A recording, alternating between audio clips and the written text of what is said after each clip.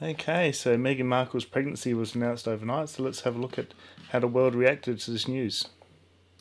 Rumours have been there for weeks, but now we know for sure the Duke and Duchess of Sussex have finally announced they are expecting their first child five months after their fairy tale wedding. Eddie is at Admiralty House, and 7 News chief reporter Chris Reason is at the Sydney Opera House this morning. Eddie, first to you, pretty exciting news. What's been the reaction overnight?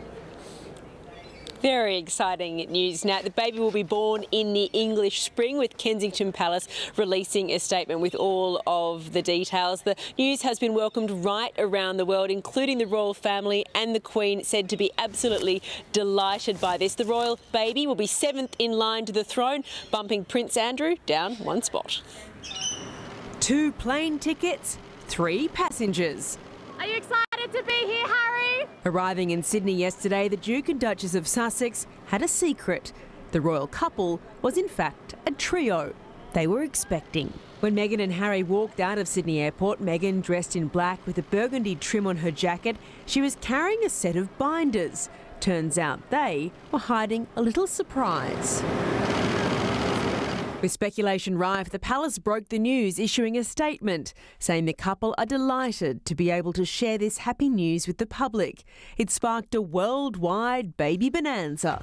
A royal baby is announced. Halleluja, die Spekulationen haben ein Ende. Breaking overnight, royal baby on board. The couple shared the news with close family at Princess Eugenie's wedding. The public suspected as much already, with Meghan dressed in a loose fitting navy blue Givenchy coat, buttoned up high.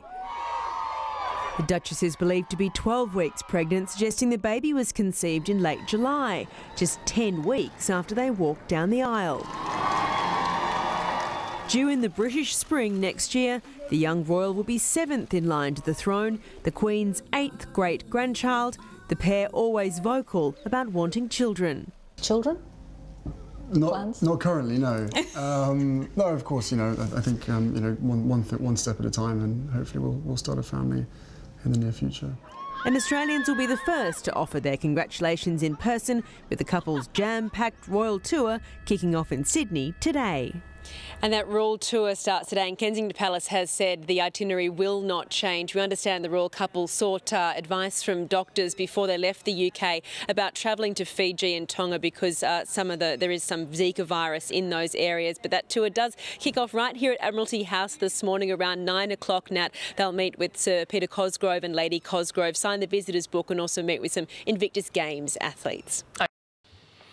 Okay, so that was interesting that um, they're not going to change their plans, but I've I heard um, this afternoon that they they might actually change plans and um, Meghan's mum Doria might uh, come to Australia and and uh, they've got alternative accommodation already arranged.